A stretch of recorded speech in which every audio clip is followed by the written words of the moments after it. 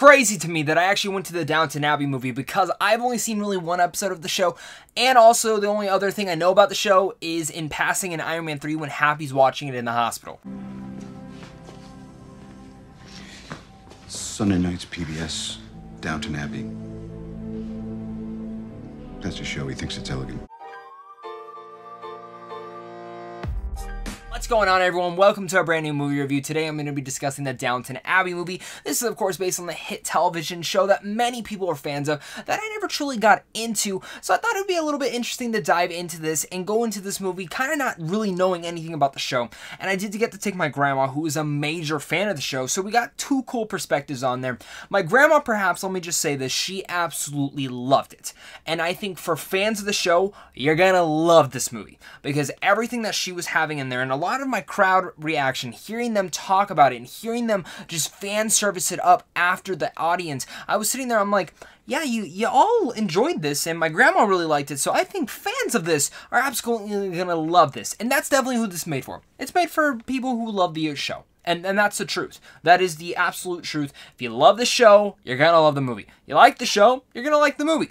And for me, did I like it? Yeah, I did for really not knowing anything about it, I, I enjoyed it for the most part. While I do have some small quips here and there, whether it does feel like, it truly does feel like a TV show. It, it feels like there's two episodes just smashed together and pushed into here, or in general, just a TV special. That's something that we've always had issues, though, when it comes from a TV show trying to go into a movie. You had the Entourage movie, you have Downton Abbey, and in general, you also have that Breaking Bad movie that I'm definitely looking forward to, even though it's not going into the theaters, it's just going to be on Netflix. It, it's still a thing, though, when you when you see that, it, it's sometimes can just feel like a TV special when it's going into the theaters. Even though it felt that way, I was still enjoying it for the most part. The script in here is actually very well, and the dialogue is probably the most excellent part about the movie, and in fact actually had me interested to go and check out the show now, which is something that I couldn't say the most part, because even though I, I truly, I can't tell you a single character's name in here, I can't tell you a single character's backstory or arc to it, from what I understand from my grandma is that she was telling me on our way home, she started telling telling me,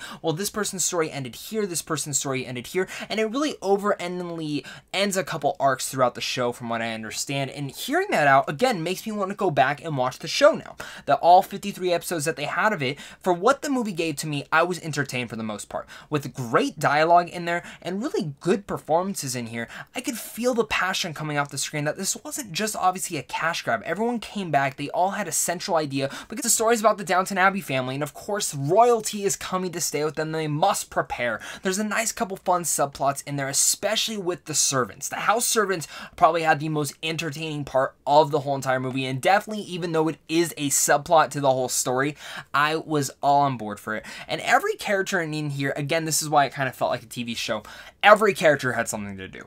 Every single person you met on screen had something to do. Where if you watch a TV show sometimes you can push some characters to the side to give this character a little bit more progression in this. And in the movie, it's kind of just touching on each and every person. And in times, it can be a little bit predictable. By the end, as it's wrapping up, you're like, okay, this person's story is going to get wrapped up. This person's going to get story is going to get wrapped up. And as it's going, it gets a little bit repetitive in that. And I'm speaking as someone who has never watched the show really and doesn't know much about it. And for the most part, as a TV movie going into theaters, I liked it.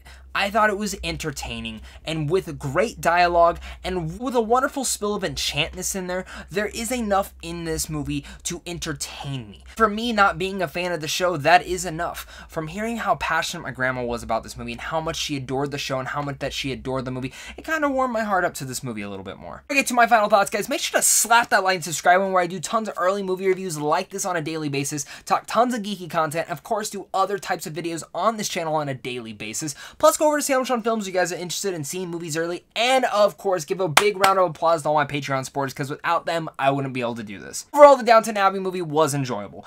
I laughed. I had some fun, and I had a smile on my face, and plus I stayed awake. Usually these period piece movies aren't their typical kind of movie for me. It takes a bit for me to get into these, and definitely this movie did take a bit for me. I still don't know any characters' names. I really didn't really understand where they were all going. All the relationships and in sense kind of felt a little bit surface level to me, but with hearing that though, that's my fault for not doing the research and not seeing it. But I'm just judging it solely based on a movie. For me personally, I think it was still a fine movie with fun dialogue in there, and really, I, I, had a smile on my face. This movie isn't for me though. This is a movie made for Downton Abbey fans, and hearing how much fun my grandma had during this movie, and hearing how much fun my audience had, who definitely after the screening you want you want to take your friends and family who are big fans of Downton Abbey. You want to make sure to go opening night with them because it's definitely going to be a bunch of other Downton Abbey fans, and I think all of you guys are going to definitely enjoy that. So with all that said, I'm going to give this movie a B minus. Solid movie for sure, and I think a lot of you fans are going to enjoy this. So thank you guys so much for watching this. Make sure to hit that like and subscribe button. Check out Sandwich John Films, and I'll make sure to catch you guys soon. Stay classy.